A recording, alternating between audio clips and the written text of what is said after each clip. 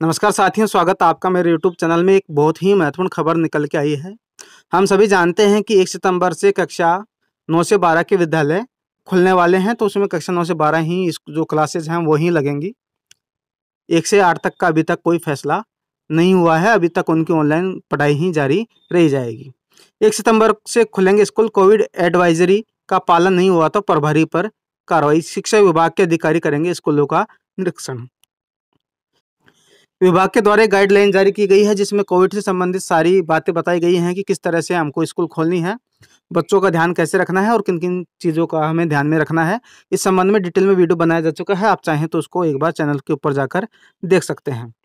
यदि जो गाइडलाइन है, उसका पालना नहीं होती है तो जो विद्यालय के संस्था प्रदान होंगे, उनके ऊपर कार्रवाई होगी। साथ ही जो शिक्षक हैं, उनके ऊपर भी कार्रवाई हो सकती है, यदि किसी प्रकार की कोई लापरवाही पाई जाती है। खबर को थोड़ा डिटेल में पढ़ते हैं कि एक सितंबर से नौवीं से बारहवीं की कक्षाएँ प्रारंभ हो रही हैं। इसके मद्देनजर सभी स्कूलों में कोविड एडवाइजरी की शत प्रतिशत अनुपालना सुनिश्चित करवाई जाए और किसी भी स्तर पर लापरवाही सहन की जाएगी। संबंधित स्कूल प्रभारी इसके लिए जिम्मेदार होंगे। उन्होंने कहा कि स्कूल शिक्षा विभाग के अधिकारी स्कूलों का निरीक्षण करें।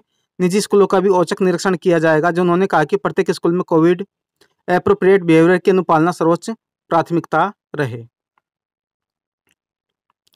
तो साथियों, हम तो ये जानते ही हैं कि जैसे ही स्कूल खुलेंगे तो उसमें जो जाँच की जो प्रक्रिया होगी, वो भी काफ़ी तेज़ होगी।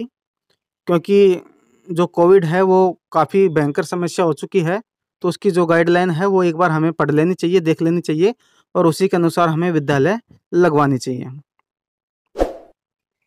उम्मीद करता हूँ कि ये जानकारी आपको अच्छी लगी होगी। आप लाइक करें, शेयर करें, साथ ही चैनल को सब्सक्राइब ज़रूर करें। Thanks for watching this video.